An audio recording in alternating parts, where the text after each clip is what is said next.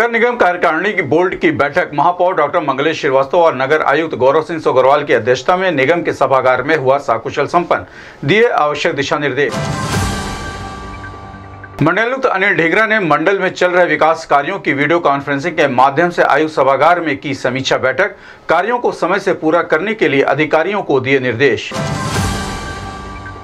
महाराणा प्रताप शिक्षा परिषद संस्थापक समारोह के अंतर्गत एमपी इंटर कॉलेज में गोरखवाणी प्रतियोगिता का किया गया आयोजन। 11 संस्थाओं के बच्चों ने प्रतियोगिता में लिया भाग।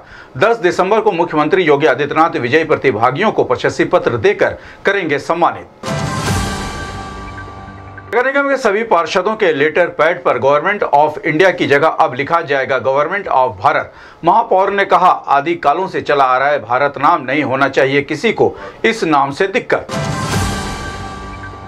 नगर आयुक्त गौरव सिंह सोगरवाल ने संभव दिवस के तहत निगम के सभागार में की जन सुनवाई, समस्याओं के निस्तारण के लिए संबंधित अधिकारियों को दिए आवश्यक दिशा निर्देश।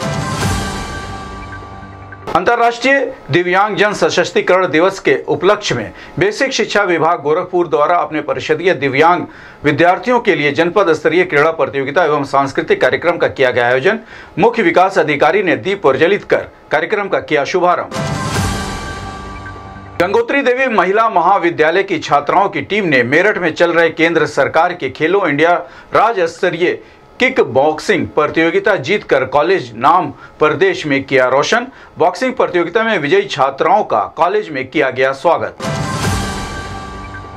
गोरखपुर यातायात पुलिस ने यातायात माह के तहत 1 नवंबर से 30 नवंबर तक की बड़ी कार्रवाई। यातायात पुलिस द्वारा पच्चीस हज़ार पाँच सौ बाईस वाहनों पर ढाई करोड़ रुपए का किया गया चालान।